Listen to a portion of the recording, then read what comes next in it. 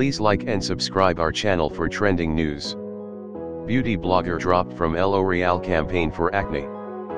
Partnering with the cosmetic giant is a major milestone for any beauty blogger, which is why L'Oreal's decision to drop its offer to a 21-year-old acne-positive blogger due to her skin issues was all the more bitter. On March 1st, The Sun reported that UK-based beauty influencer Khadija Khan was left humiliated when L'Oreal rescinded its offer to work with her on an upcoming campaign for a new hair product.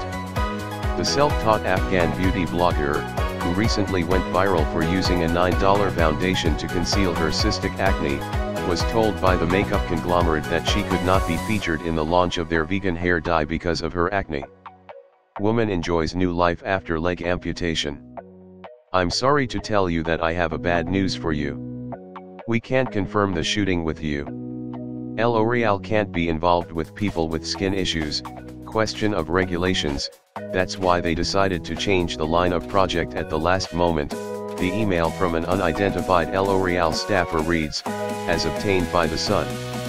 Apparently, Khan had already agreed to travel to Paris for the launch, and told The Sun she felt really gobsmacked to hear the bad news. My whole Instagram is about sharing unedited photos, and I am very honest about my acne. I don't know why they would get my hopes up just to let me down they were the ones to reach out to me not the other way around, Khan said of her Emerald X Beauty Instagram page, which has a following of 140,000. They must have known what I post about on my social media before contacting me, she also said. Cinderella weight is a dangerous viral diet goal, experts warn.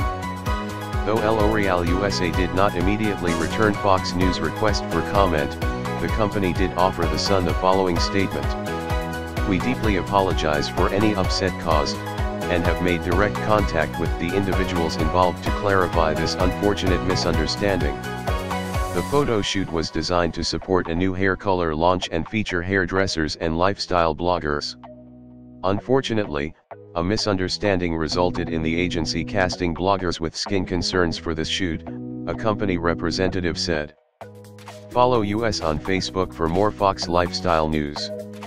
This resulted in the wrong profile being cast, which was then poorly and insensitively communicated to the individuals concerned.